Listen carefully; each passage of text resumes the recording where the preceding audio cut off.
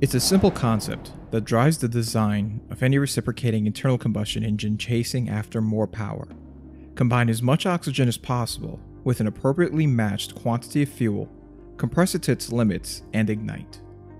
Of the two components of combustion, fuel is far easier to add in quantity due to its density.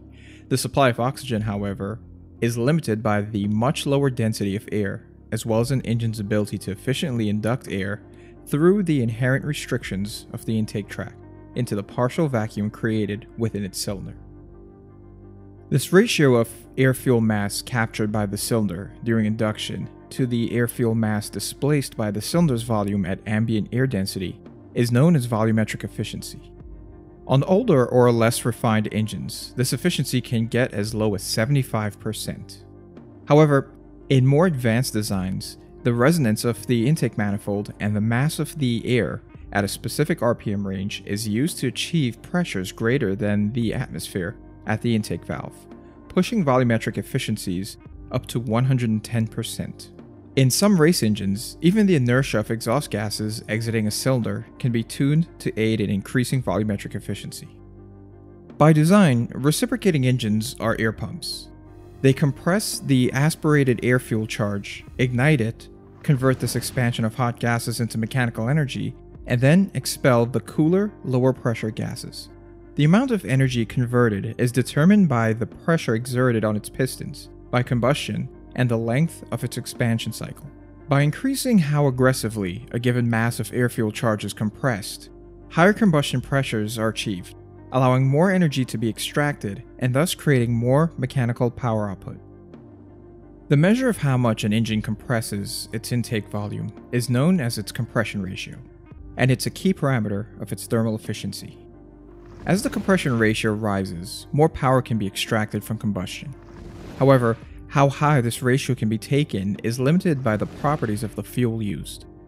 As air is compressed rapidly within a cylinder, its temperature rises. For certain fuels like gasoline, this hotter air fuel charge may cause pockets of air fuel mixture to ignite outside the envelope of normal combustion. This is known as detonation, and it dramatically decreases thermal efficiency and can cause engine damage. Because of this limitation, most modern gasoline engines hover around compression ratios of 10 to 1 to 12 to 1. Engines on the higher side of the spectrum tend to require higher octane rated gasoline, which lowers the tendency to detonate. Other fuels that are more resistant to detonation allow for more efficient, higher compression ratios in their respective engines. Ethanol and methanol engines, for example, can safely operate at 14 to 1 to 16 to 1 ratios, while diesel engines, which rely on the temperatures created by compression for ignition, can run at ratios as high as 23 to 1. Limited by the properties of fuel, atmospheric pressure, and intake restrictions, Making more power would come down to either making an engine larger or operate at a higher RPM, though these options are easily hampered by a combination of cost, reliability, and practicality. However, early on in the history of the internal combustion engine, a novel idea started to emerge. By adding an external air pump to feed an engine, the properties of an intake charge could be modified before it even enters a cylinder. This concept of forced induction allowed for cooler air that is pressurized higher than the atmosphere to enter the cylinder, eliminating the limitations of natural aspiration. In 1859, two brothers, Philander Higley Roots and Francis Marion Roots, founded the Roots Blower Company in Connersville, Indiana. One year later, they would be granted a patent for their air pump design, known as the Roots Blower. While the Roots blower was initially designed for pumping air into blast furnaces used to melt iron and mine ventilation, in 1900, Gottlieb Daimler of Daimler Benz was the first to fit a Roots blower, known as a supercharger, onto a four stroke engine. While a handful of race cars utilizing Roots superchargers would be built over the next two decades, it would not be until September 23, 1921, at the Berlin Motor Show, that the Mercedes 620 HP, and 1035 HP, the world's first series built supercharged passenger cars, were announced. These vehicles were designated compressor models, a Mercedes Benz badging signature that continues even today. Roots superchargers operate by pumping air with a pair of meshing lobes resembling a set of stretched gears. The incoming air is trapped in pockets surrounding the lobes and carried from the intake side to the exhaust side of the blower. They're typically driven from the engine's crankshaft by a toothed or V-belt, roller chain, or a gear drive. Roots blowers are a part of category of devices known as positive displacement pumps. These deliver a nearly fixed volume of air per revolution at all speeds, making the volume of air pumping into the engine predictably linear with the RPM of the engine. While they are ideal at moving large volumes of air, they do not directly compress it. As the blower transfers air at ambient pressure into the cylinder, the intake charge begins to pressurize within the cylinder itself. This characteristic is known as external compression. Because rotary lobe pumps need to maintain a critical clearance between the lobes, root superchargers can only pump air across a limited pressure differential due to the expansion of the lobes from the heat of compressing air. They also pump air in discrete pulses, potentially causing turbulence downstream. While variants of the design that change the quantity, shape, and twist of the lobes attempt to address these issues, they generally begin to drop off severely in efficiency at around 1 bar of pressure above the ambient air, or 1 bar of boost. Root superchargers typically operate most efficiently at moderate speeds and low boost. In 1935, Swedish engineer Alf Lysholm patented a new air pump design as well as a method for its manufacture that improved upon the limitations of the Roots blower. Based on an old German patent from the 1870s, Lysholm had replaced the lobes with screws, creating the rotary screw compressor. In a rotary screw compressor based supercharger, or twin screw supercharger, two very closely meshing asymmetric helical screws, known as rotors, are used to compress air. As the meshing rotors force air from the intake end through the screws, the interlobe volume between the male and female rotors decreases along the length of the rotor until the exhaust port. This change in volume compresses the air. Because twin screw superchargers compress air without the housing and do not rely upon downstream resistance to increase pressure, they are characterized as internal compression devices. Furthermore, the air compression process occurs in a continuous sweeping motion, creating very little pulsation or surging. By design, they also have far lower leakage levels and parasitic losses, allowing them to operate more efficiently across a broader range of speeds and at higher boost levels than root superchargers. Despite these advantages, only a handful of production vehicles have ever been fitted with a twin screw supercharger. Their complex design makes them far too expensive for mass production when compared to alternative forms of available forced induction. During World War II, a completely new type of supercharger had evolved from an 1899 pump design known as a centrifugal compressor. Initially used on piston aircraft to increase power at high altitudes where the air is thinner, they have successfully migrated to the automotive world. Centrifugal superchargers are a type of dynamic compressor. They work by spinning an impeller at a high speed to draw air into a compressor housing called a volute. When air leaves the impeller, it travels at high speed and low pressure through a diffuser and out the housing. This rapid slowdown of the airflow as it moves towards the outlet of the supercharger causes it to pressurize. Centrifugal superchargers typically contain a transmission that provides a step up ratio from the engine driven input shaft to the impeller. Because impeller speeds can exceed 100,000 RPM, high speed loads must be taken into consideration in their design and manufacture. Because centrifugal superchargers utilize centrifugal forces to compress the air, they offer a higher efficiency over positive displacement superchargers, both in terms of power consumption and heat production. They're also typically mounted off to the side on the front of the engine, reducing heat transfer from the engine to the supercharger during operation. While other less popular designs have been attempted, such as the PowerPlus sliding vane superchargers of the 1930s, and Volkswagen's notoriously unreliable G-Lader scroll type superchargers of the 1980s, variants of the Roots type and centrifugal superchargers dominate the mass production automotive market. Forcing more air into a cylinder with boost easily creates more power in an engine by increasing the air mass of the intake charge, beyond what is possible with natural aspiration. This also inherently pushes volumetric efficiency well beyond 100%. However, with forced induction, a new problem emerges. A pressurized charge within a cylinder combined with too high of a compression ratio dramatically increases the likelihood of detonation. This is further exacerbated if the incoming air is heated from being compressed. For detonation sensitive fuels such as gasoline, this can be addressed by a combination of reducing the compression ratio and the maximum amount of boost allowed. Most gasoline engines, for example, are designed with compression ratios between 8 to 1 and 9 to 1 when operating under forced induction. While this reduces the overall thermal efficiency of the engine, the power output is increased due to the pure increase in air mass during combustion.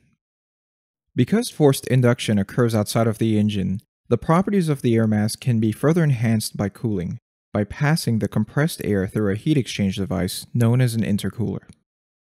By lowering the intake air charge temperature under constant pressure, it becomes more dense.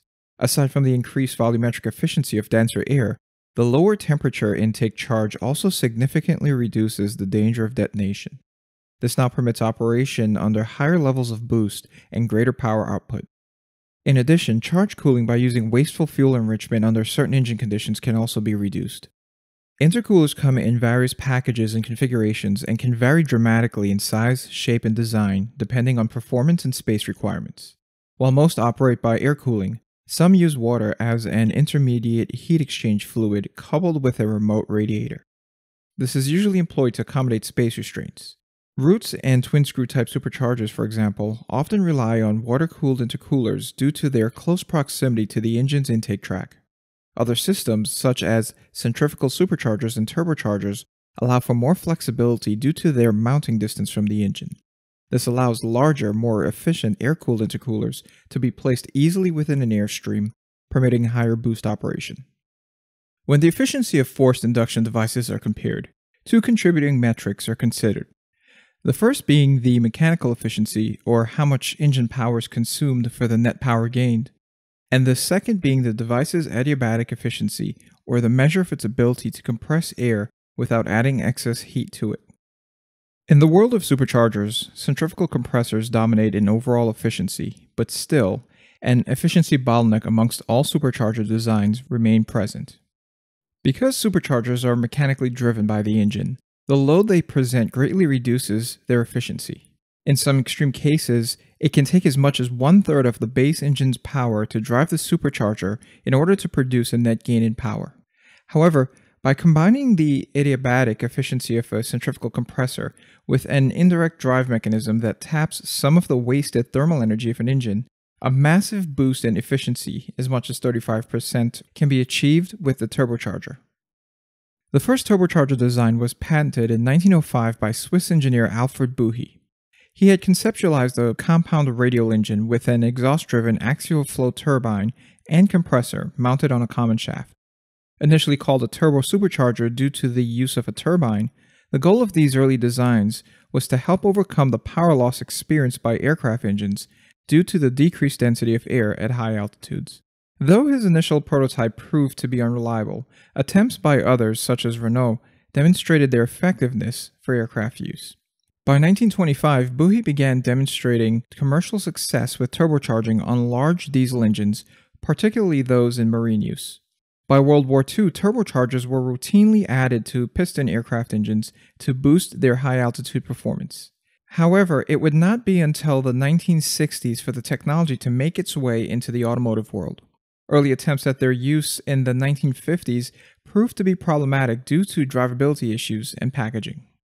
Finally, in 1962, the first turbocharged production car engine, the Oldsmobile Turbo Jetfire, was released in the Oldsmobile Jetfire and later in the Chevrolet Corvair Monza Spyder.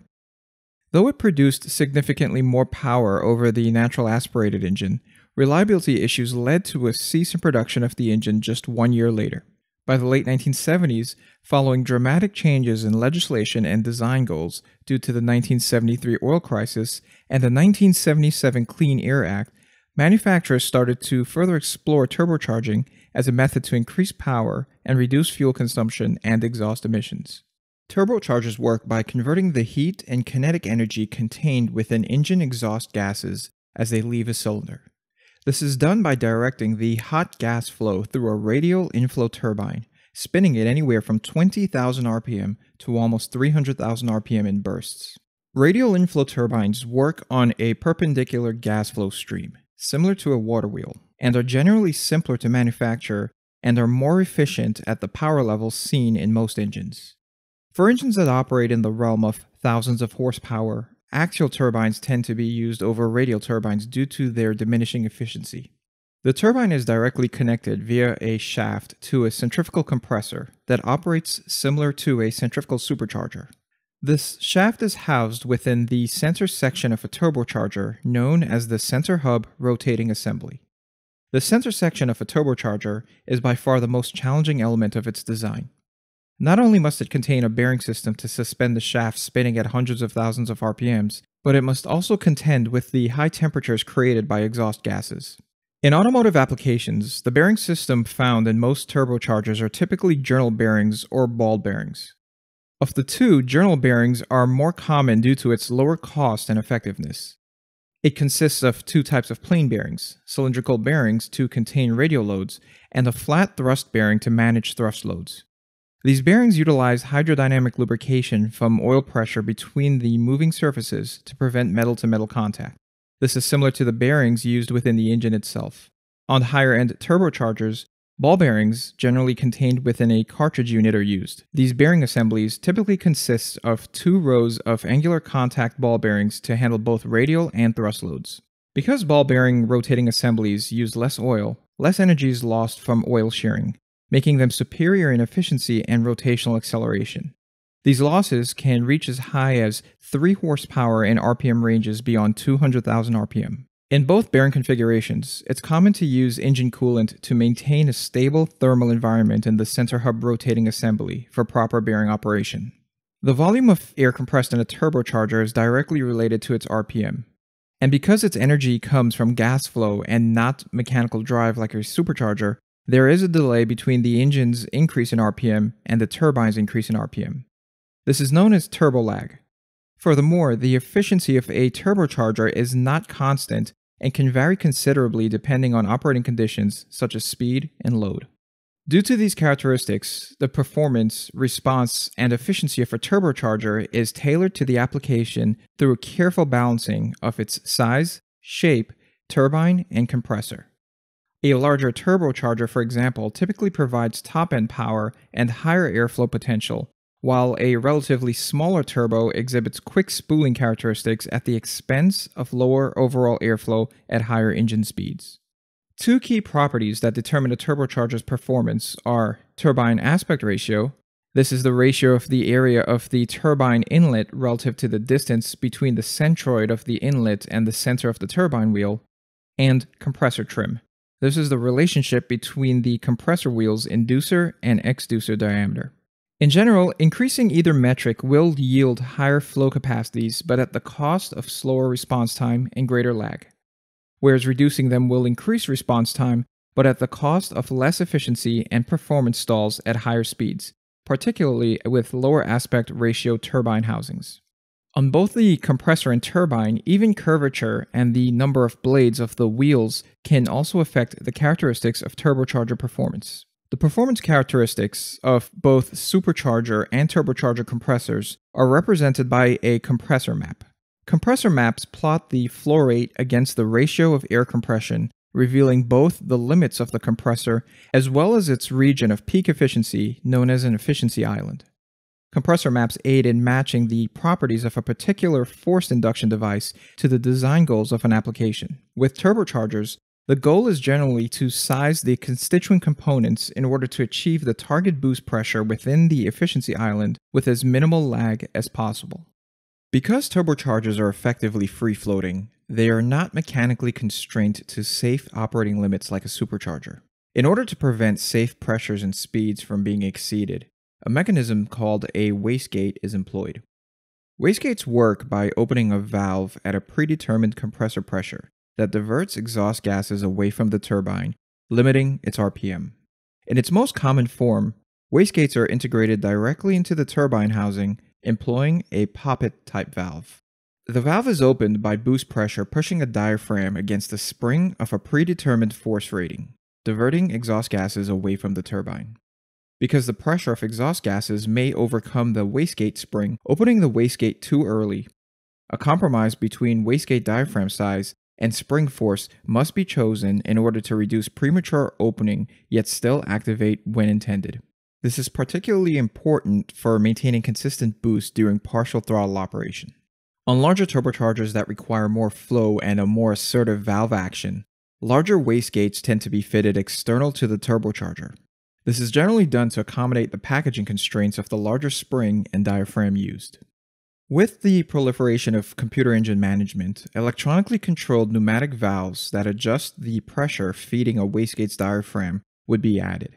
This is known as electronic boost control, and it allows for engine management to modify the wastegate's action, controlling boost electronically. In some contemporary turbochargers, fully electronic wastegate actuation have been employed for more direct and precise control.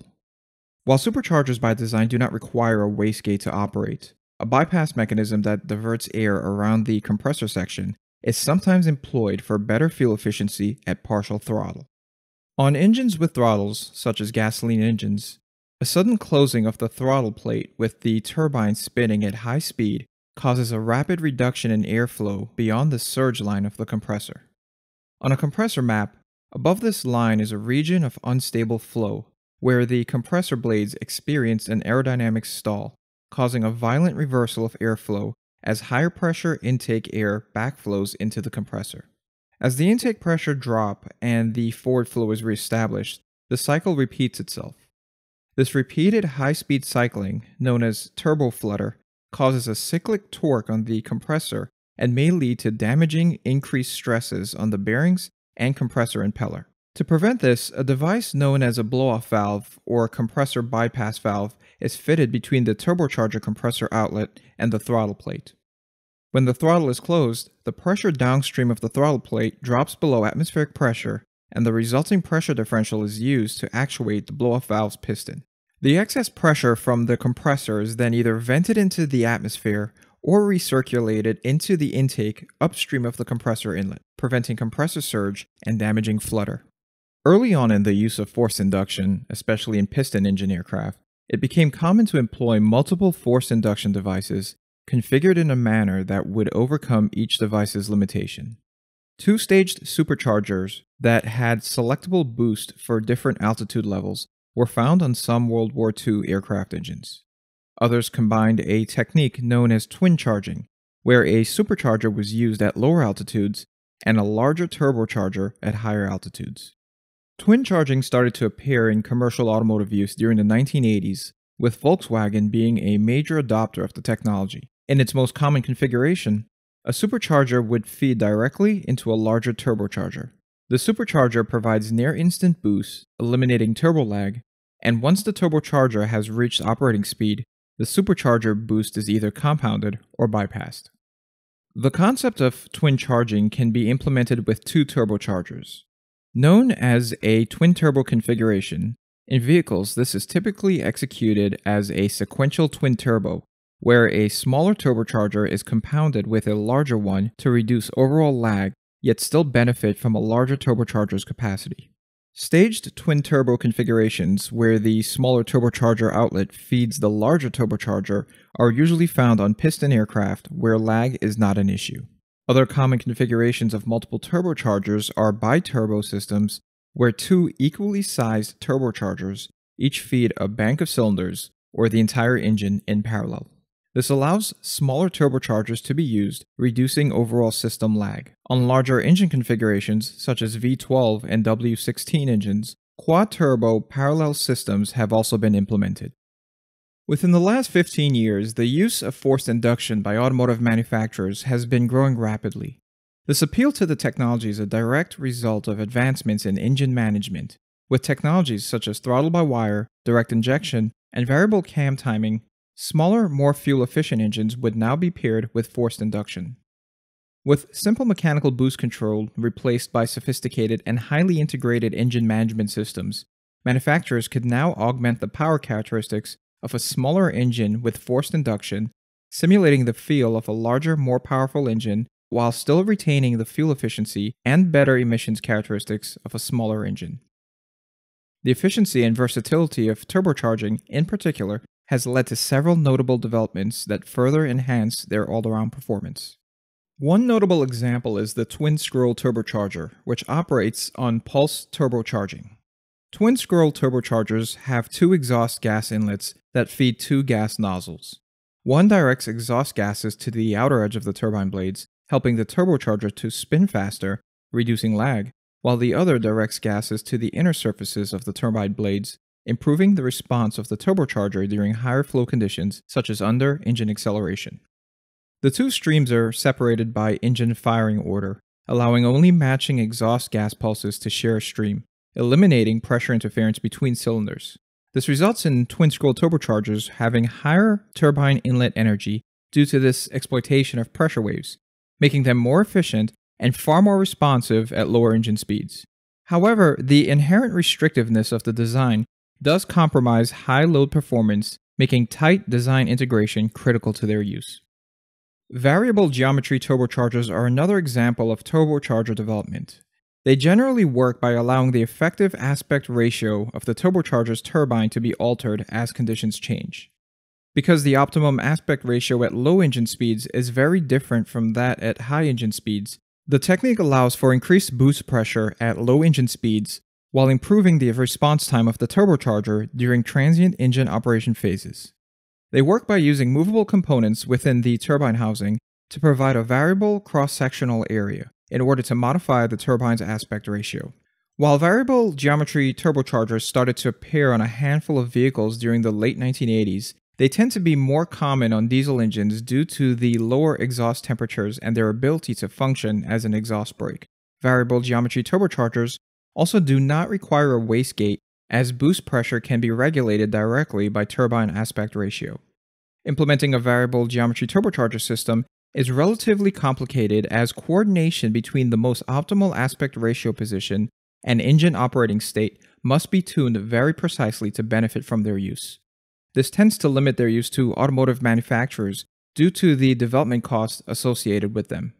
Other noteworthy techniques used to enhance turbocharger characteristics, especially in performance use, are methanol or water injection, where the air is cooled as the injected liquid evaporates, cooling the combustion chamber and inhibiting detonation in a manner similar to a higher octane fuel, allowing for both higher engine compression and more boost, and anti lag systems, where the ignition timing is purposely delayed during momentary throttle closure, allowing a small amount of fuel air charge to escape through the exhaust valves and combust within the hot exhaust manifold, spooling the turbine, reducing lag during throttle closure. Purely electric anti-lag systems that utilize an electric motor to maintain turboshaft speed are also in development for production use. In 2019, 36% of the vehicles sold in the US used forced induction. In Europe, the adoption rate was well over 70%. And while more than 90% of these sales were turbocharged diesel engines, a historical strong point of forced induction, stricter government regulations for fuel economy and emissions targets, as well as the general consumer demand for higher engine performance, coupled with significant technical advances in drivability, are expected to contribute to more widespread consumer adoption of turbochargers and superchargers, especially within the emerging US market.